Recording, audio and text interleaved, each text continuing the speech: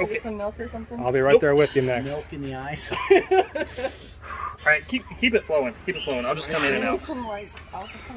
you gotta force it out.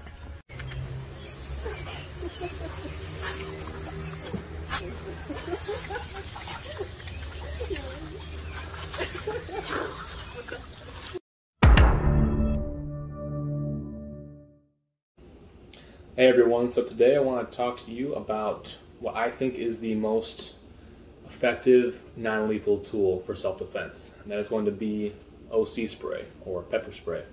And I'll also do a review on this one in particular. This one is from POM Industries. Very strong stuff. So, what is OC spray and pepper spray? Well, it's essentially a self defense tool that allows you to spray the active ingredients into an attacker's face that will then further blind them and cause them extreme discomfort. Why? Well, that's because the ingredients in here are derived from peppers, from the capsicum family. And if you're familiar with the term Scoville, like uh, Ghost chili peppers or Carolina Reapers have extremely high Scoville units of heat, like 1 million to 2 million, etc. This one right here has over 2 million Scoville units. Now that sounds really impressive and hot and terrible, that's mostly used for marketing. It doesn't really determine how effective this is going to be. Even the, the 10% OC rating on this, this one has 10% OC as well. That's the oleoresin capsicum rating. That's also kind of, it doesn't really tell you how hot this is going to be. What really determines how hot and effective these pepper sprays will be is their MC rating or major capsaicinoid rating. The capsaicinoids are basically the compounds found in the capsicum family that gives you that heat and that swelling of the mucous membranes in your eyes, nose, and mouth, etc. And it also will cause your the veins in your eyes to swell, forcing your eyes shut, and essentially making you temporarily blinded, because you can't see through those eyes. So when you have a pepper spray, don't pay too much attention to the OC percentage. Like I said, both of these have a 10% OC percentage. That sounds kind of cool, but what does that really mean? It's not third-party tested. It's not lab tested for effectiveness or heat. Same thing with the Scoville units, the Scoville heat units, SHU. That doesn't really mean too much. When looking at pepper spray to determine how effective it is, look at the percentage of capsaicinoids in there, okay? For example, capsaicinoids in this one is 0.66%. That's not super high. This is the one I used to carry, but I upgraded to this POM one right here. Now this POM Max Strength guy right here, this one has 1.4% capsaicinoids. That's more than double this guy right here. And the capsaicinoids is what is measured in a lab. It's determined for its effectiveness, and that is what's going to cause the infl inflammatory properties to your mucous membranes and swell the veins in your eyes. The that's what you want to look for. Okay, so anywhere from 1.2 to 1.4 percent capsaicinoids, or sometimes it's just MC, major capsaicinoids abbreviated. That is what is going to cause all those effects that you want in a good pepper spray. Like this one, it just says capsaicinoids 0.66%, whereas other pepper sprays might just say the M MC rating, major capsaicinoid rating, etc. Most bear sprays, you know, the sprays to defend against bears, they're usually around 1.4% and above for capsaicinoids. So this one right here already has more than double this one. This one's going to be a lot more effective. So pepper sprays, pay attention to the capsaicinoid percentage, not the OC percentage or the Scoville units. Those don't really mean anything. It is the capsaicinoid rating that matters. Okay. So why use OC spray or pepper spray? Well, it's essentially a small tool. It's really easy to carry, inexpensive, and easy to use, but most importantly, it's very effective.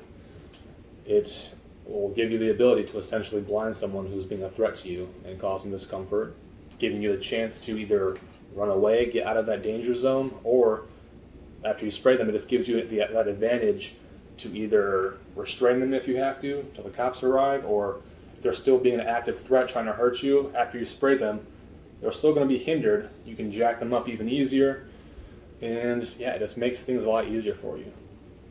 There's some people out there that uh, might be smaller or weaker, not have the skills. This is going to give you that edge, okay?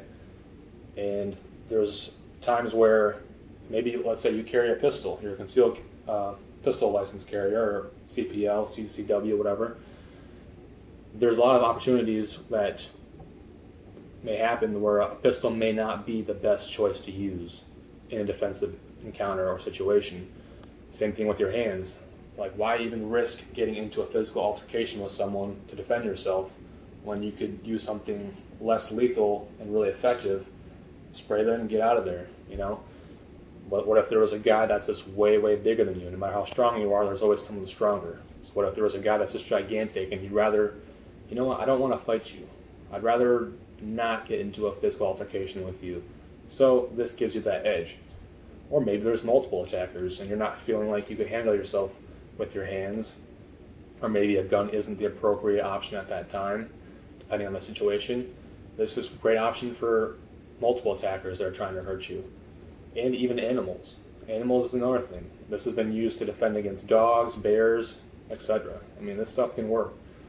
And maybe even knife wielders, okay? Like if you don't have a gun on you, if you don't carry guns legally, and if there was ever a time where you were encountered by a knife wielder, having this still gives you an advantage over just your hands. You know, I would not want to fight someone if they had a knife and I just had my hands. I would if I had to, but if I had the option to use an OC spray to limit their vision, to give me a chance to get out of there, I would do that, you know.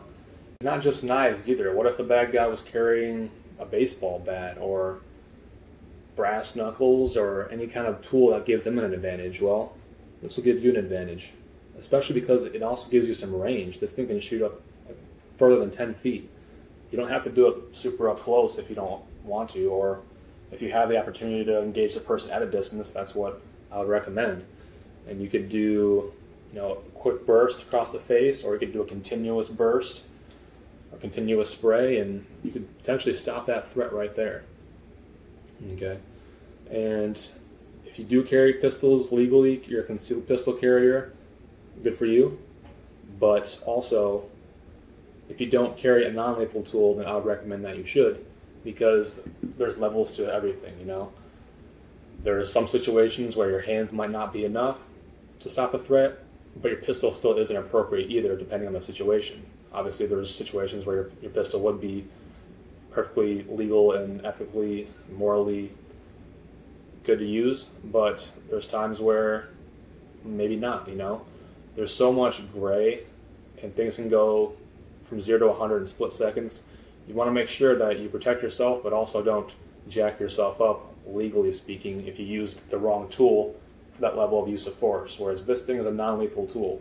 You're not going to kill anyone by just spraying this in their face, unless they're blinded and they run into traffic or something like that. But generally speaking, this is, is non lethal. It's going to be extremely discomforting. It's going to be blinding for a bit, but after about 30 minutes to maybe an hour, they'll start recovering, and you know, it is what it is. This will give you that chance to spray someone that's a threat to you and get out of there. What are some considerations for using this thing? Well, for outside use especially, be cognizant of the wind, okay? Especially if you're in a defensive situation, you want to be aware of the wind, especially if it's also really windy. You don't want to be downwind. Let's say an attacker's coming at me and I want to spray him, but I'm also downwind. If I spray him, that wind's probably going to spray me as well. So, if possible, move off center, off the line of where the wind is blowing, spray that individual, get away from downwind, and you won't get jacked up, hopefully. Now, I mean, you can use these inside as well, so you're not always going to be in a windy situation, but it's just something to be aware of, okay? Another thing, too, is I've seen a lot of images and videos and stuff of people holding the pepper spray like this, they'll use their pointer finger to manipulate the button. I would not recommend that. I would use your thumb, okay? Get a firm grip, like a hammer grip on this thing. Use your strong opposable thumb to do all the control for you, okay?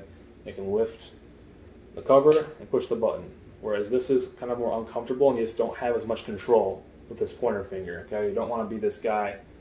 No, you don't want to do that. You want to use your thumb, okay?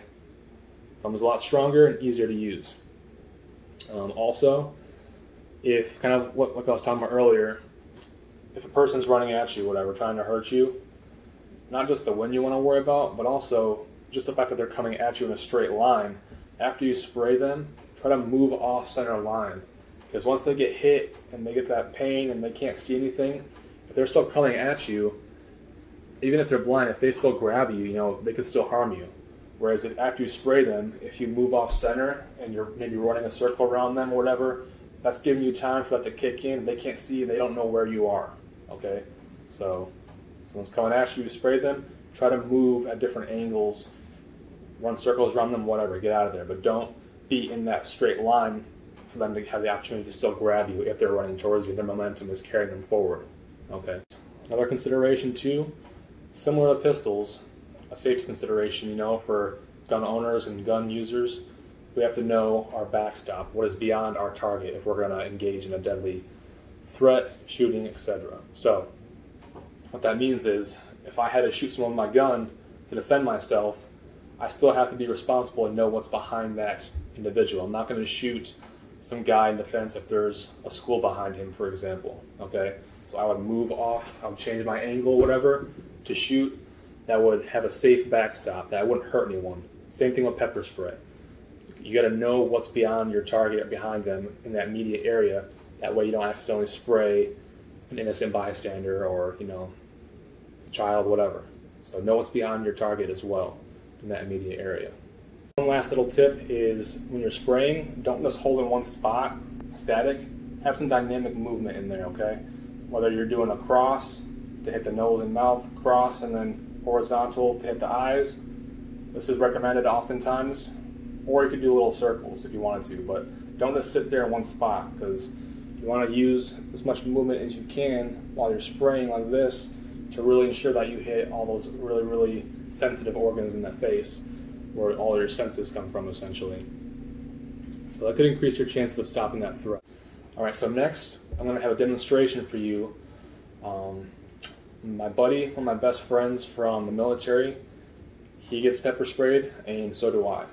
And, and what you'll see in both of these videos is for his situation, my wife, who was the victim, when she sprays him, she does a quick burst, because I told her to. She does a quick burst, and it hits his left eye mostly, okay? And it also hits his ear and like the rest of his face a bit, but it doesn't hit both eyes a lot. It's a quick burst that hits his left eye, and you'll see how effective that is in the video. And then for me, I wanted her to do more of a continuous spray and really hit both of my eyes. That's, that's going to give you basically with comparison and you can see how effective it is. And in a defensive situation, one quick spray may be all that's needed to stop someone. But if there's still a threat and they're still coming at you, there's no rules against continuing to spray until the threat is stopped. Same kind of thing with defensive shooting. I'm not going to necessarily shoot one person one time if they're still swinging a knife at me or if they're still shooting. You're supposed to shoot to stop the threat. Okay? So, same kind of thing applies here.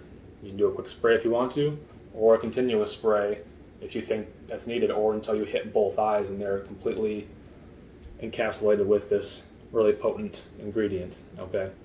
And once that hits both eyes, especially, it's going to force your eyes shut because it's going to swell those veins in your eyes. You're going to see in my video that I had to physically like grab my eyelids and almost pry them open because I could not voluntarily open my eyelids. It was pretty bad, okay? So I'll let you guys check those out and I'll get back to you after that. Uh, this is scenario one. This is a sexual assault. I'm going to try and take this woman and kidnap her. All right, here we go. Hey! Hey, get in my van! No, hey, no, no, hey, no, no. Where's it going? It's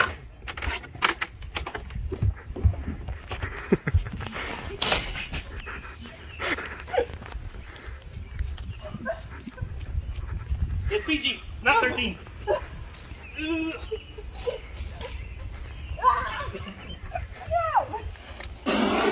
Oh, oh, this man. This man. This man. You won.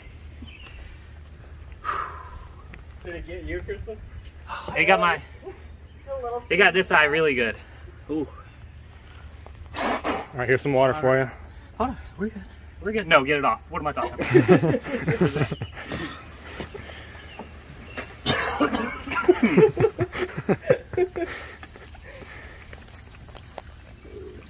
Soap me. Someone get better. Soap quick. That's it. Yeah, soap, soap. Open it. Got it. That's a lot of soap.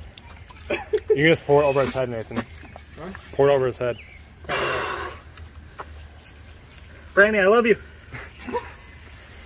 This shit sucks. Have to bleep out the swear word. Oops. this bleep suck. You got a tower when you're ready for it.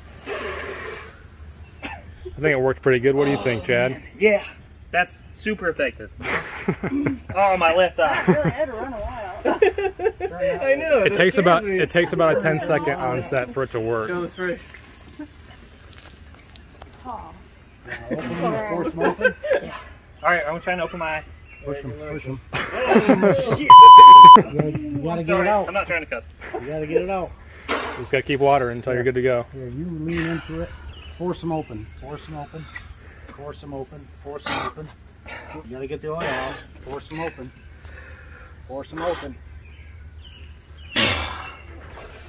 Get some milk or something? I'll be right there with you next. Milk in the eyes. All right, keep keep it flowing. Keep it flowing. I'll just come in and out. Some like alcohol. You gotta force it out. More soap. More soap. Soap. It's coming. Hold on. Yeah, I'm not raping anybody. Jesus. It's in your hands. In your hands. All right. In your hand. All right, keep it moving. Dexter, stop.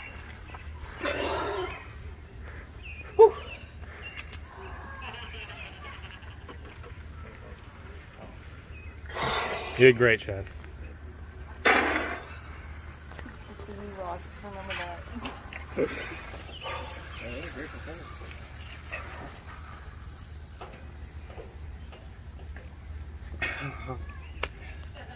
And that sucks. Where, where did it It hit you on your face, Jet? Right in the eye? Like Oh, right there. all across right here. And my right eye's mostly good. I tried so hard to get right in his More eye.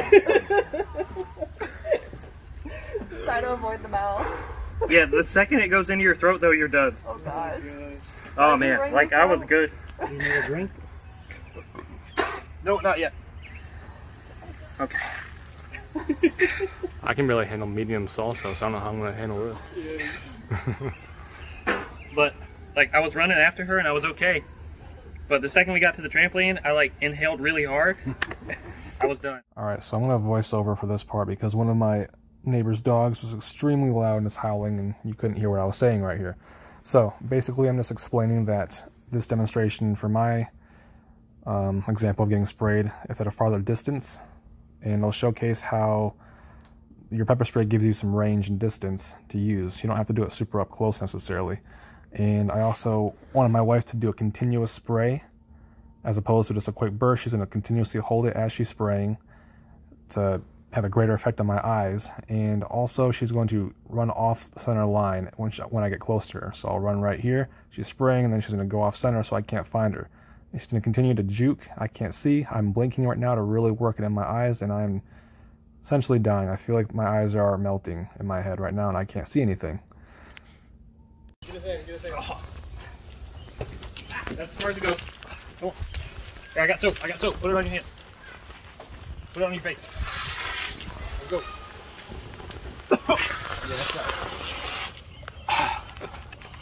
oh, oh. Yep. That'll work. Somebody grab the soap bottle.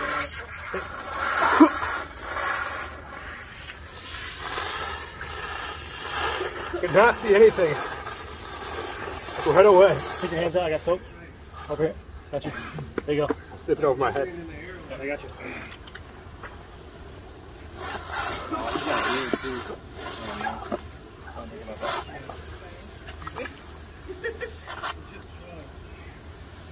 Oh man. Got it? Yeah. Hmm.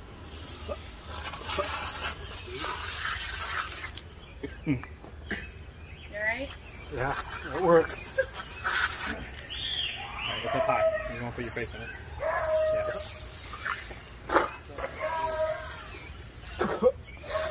Yeah, oh, yeah, that was uh, a direct spray is horrible. You got both eyes? Oh yeah. Feeling awful. You stick your hand like I'm not sure. Yeah, yeah, yeah. Here, I'll hold it for you. That way you don't get it on you. There you go. Put it on your face. Hold your hand out. Cup that hand. There we go. Do it up.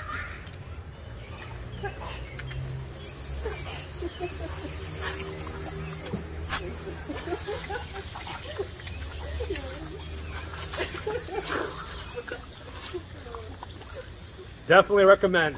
It works a lot. 10 out of 10. Pretty much as soon as I uh, got sprayed and started blinking, I was done. Hand. Hold it out. Get more.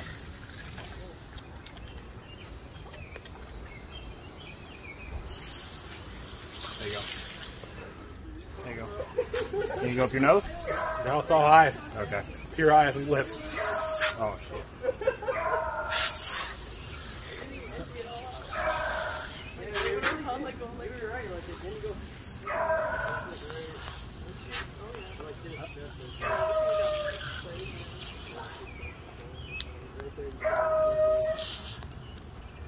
So. All right, so.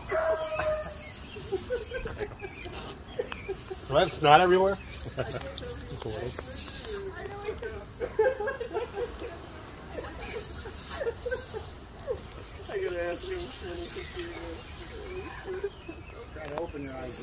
Yeah.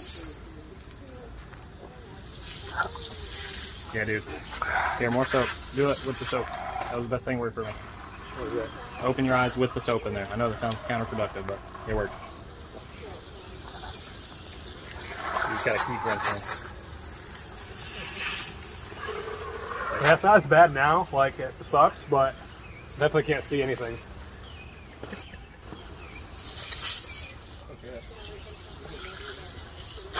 What's in the cloud of it? It's freaking so across. Pretty much. As soon as that water's off, it's burning right away. You wanna hold it now? Yeah. So you can spray yourself?